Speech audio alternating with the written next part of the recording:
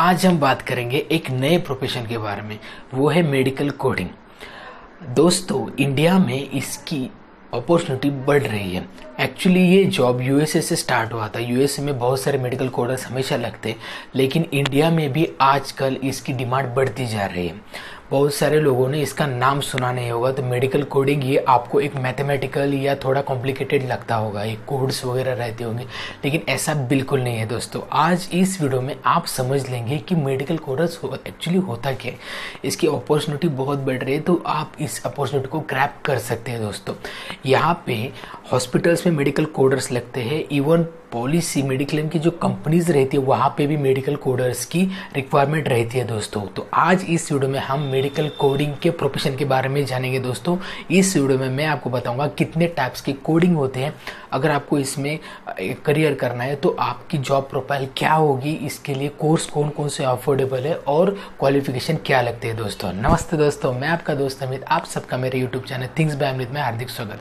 अगर आप मेरा वीडियो पहली बार देख रहे हैं तो मैं आपको बता दूँ, मैं मेडिकल प्रोफेशन फार्मास्यूटिकल प्रोफेशन के रिलेटेड वीडियोस बनाता हूँ, साथ में हेल्थ अवेयरनेस की वीडियोस बनाता हूँ। अगर आप इस प्रोफेशन से या अगर आपको ऐसे वीडियो अच्छे लगते हैं तो आप मेरा चैनल ज़रूर सब्सक्राइब कीजिए और साथ में बेल आइकन दबाइए, क्योंकि मेरी सारी वीडियो सारी नोटिफिकेशन सबसे पहले आप तक पहुँचे दोस्तों।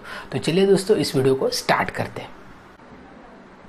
तो पहले बात करेंगे मेडिकल कोडर एक्चुअली होता क्या है? व्हाट इज़ मेडिकल कोडिंग तो इसका स्टैंडर्ड डेफिनेशन ये है कि medical coding is a transformation of health care procedures medical services equipment and diagnosis into universal medical alphanumeric code ये काम क्या करते हैं? They receive reports from doctors कौन कौन से रिपोर्ट्स होते हैं? Including patients condition diagnosis prescription और ऑल टेस्ट ये रिपोर्ट वहाँ से कलेक्ट करते हैं and they convert into the one standard alphanumeric code ये काम रहता है मेडिकल कोडर का। तो हम बात करेंगे कितने टाइप्स के कोडिंग होते हैं। टाइप्स ऑफ़ कोडिंग तो पहला टाइप है ICD international classification of disease ये कोड एस्टेब्लिश किया डब्ल्यू एच ओ ने 1942 में वर्ल्ड हेल्थ ऑर्गेनाइजेशन में। इसमें होता क्या है? ये कोड क्या डिस्क्राइब करता है? Causes of injury illness and death next coding है सीपीटी करंट प्रोसीजर टर्मिनोलॉजी ये कोड मेंटेन और एस्टेब्लिश किया है अमेरिकन मेडिकल एसोसिएशन ने ए एम ए ने। तो यहाँ पे होता क्या है मेडिकल प्रोफेशनल जो प्रोसीजर्स कैरिड आउट करते हैं क्लिनिक में तो ये सब यहाँ पे इंक्लूड किए जाते हैं।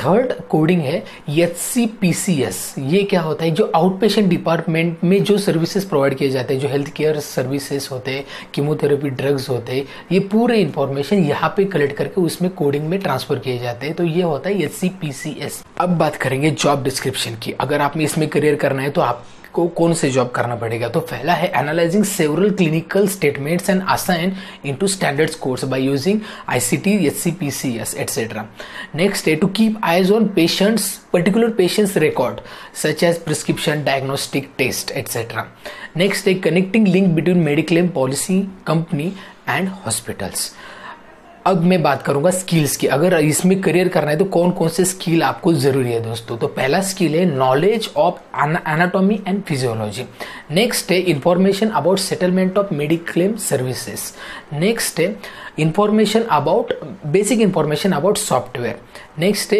it should be pro starter मतलब उसमें प्रोफेशनली आपको हैंडल करना है सब चीज़ें। सभी चीज़ें सीखनी है।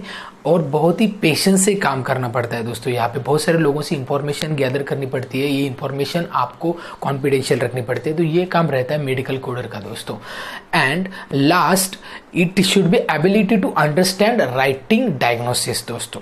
तो ये हो गए स्किल्स रिक्वायर अब बात करेंगे, अगर इसमें करियर करना है तो कौन सा कोर्स आपको करना पड़ेगा दोस्तों? तो ये कोर्स है CPC certificate for professional coding ये कोर्स कौन प्रोवाइड करता है?